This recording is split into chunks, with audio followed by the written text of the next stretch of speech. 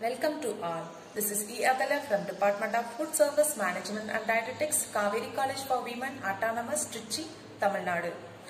Today's session is Nutritional Management of Nephritis. In this section, we will discuss definition, causes, types, symptoms, complications and dietary management of nephritis. Nephritis, nephrosis, end-stage renal diseases are the types of kidney diseases. Let's we start with the session nutritional management of nephritis.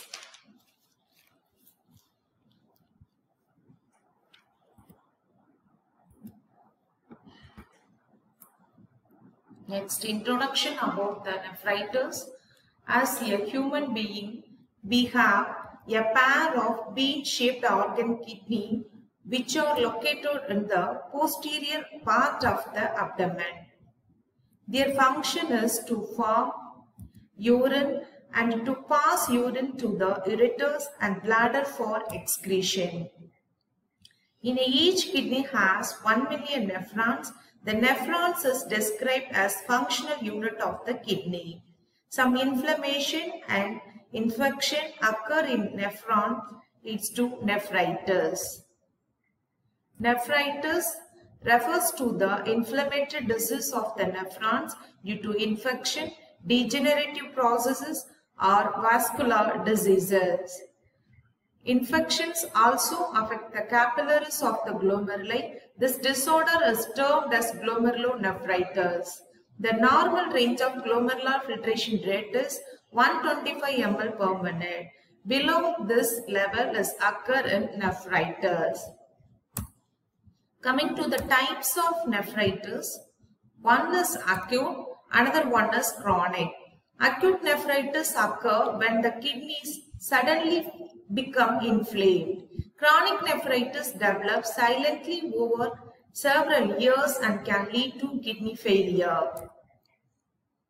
Under the category of acute nephritis are interstitial nephritis, pyelonephritis, glomerulonephritis.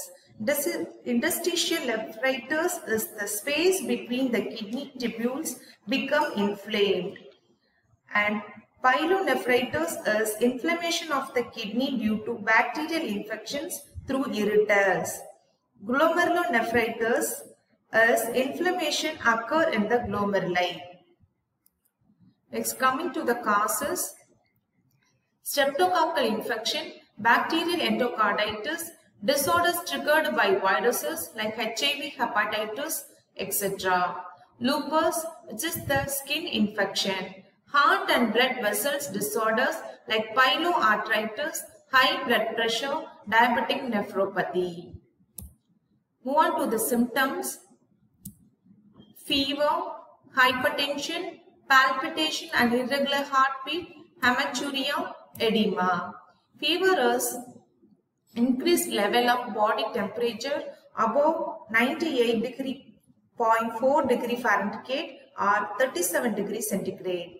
Hypertension, increased level of blood pressure and palpitation and irregular heartbeats. Hematuria, which is blood in urine. Edema, accumulation of fluids in the tissues called as edema. Move on to the complications. Acute kidney failure, chronic kidney disease, high blood pressure, nephrotic syndrome are the complications of nephritis. The solution of the complication is one thing is dialysis. One is hemodialysis, another one is peritoneal dialysis. Prevention, treatment of streptococcal infections, control of high blood pressure and control of blood sugar which should be prevent diabetic nephropathy. Coming to the nutritional management of nephritis, the nutrients or calories, protein, sodium, minerals are important. The high energy diet is recommended to spare the protein for tissue repair. Adult 30 to 40 kilocalorie and uh, children 100 kilocalorie per kg dry body weight is recommended. protein should be restricted 0.5 to 0.6 gram protein per kg is uh, enough because the blood urea nitrogen level is increased. High biological value proteins such as milk and milk products, egg white, meat should be recommended uh, which reduce the blood urea nitrogen level in blood. Coming to the carbohydrates, liberal intake of carbohydrate is important for protein sparing action. Simple sugars and jellies are example of carbohydrates. Fats, uh, fat reduce the bulk of the diet and makes the diet more palatable. Coming to the sodium, the sodium restricted to 500 to 1000 milligram per day with recovery, the intake may be increased. The sodium restriction is dependent on the degree of oliguria Coming to potassium, in case of oliguria, renal clearance of potassium is impaired resulting in hyperkalemia. So that is increased level of potassium in blood. In the initial stages, we can reduce uh, 1200 to 1500 milligram per day is uh, recommended. In addition of fruit juices and tender coconut water should be avoided.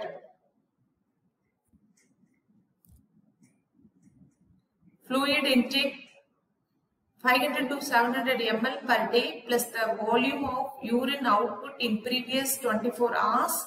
Uh, without oliguria, the fluid intake may be the normal level. Thank you.